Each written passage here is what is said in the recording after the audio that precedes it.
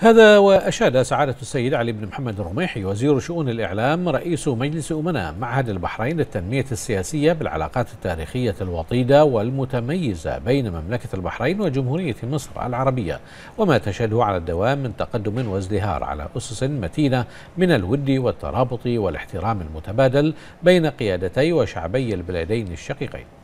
وأكد الوزير في تصريح لوكالة أنباء الشرق الأوسط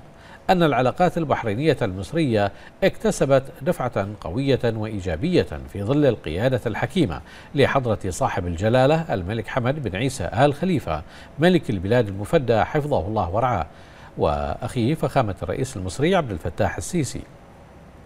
معززة من أهميتها الاستراتيجية كنموذج يحتذى به في الأخوة والشراكة السياسية والاقتصادية والأمنية والإعلامية الوثيقة والمتنامية.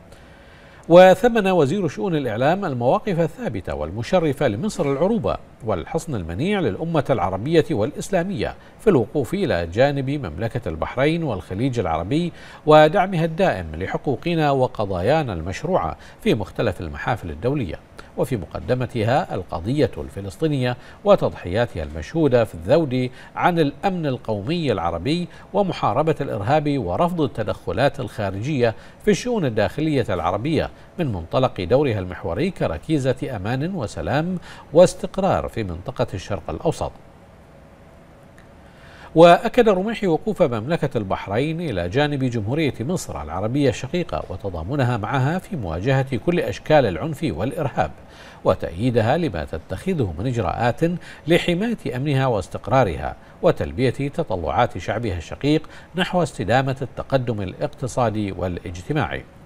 وأعرب عن اعتزازه بحرص البلدين الشقيقين على تعزيز العمل العربي المشترك وتوحيد الجهود الدولية المشتركة في مكافحة التطرف والإرهاب منوها إلى وقوفهما وتضامنها مع الدول الداعية لمكافحة الإرهاب لكل ما يمثل تهديدا خطيرا لأمن وسلامة البلدان العربية وسيادتها الإقليمية. ومساسا بمصالح الشعوب الشقيقة